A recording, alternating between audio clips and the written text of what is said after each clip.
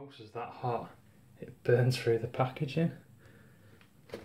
The fuck?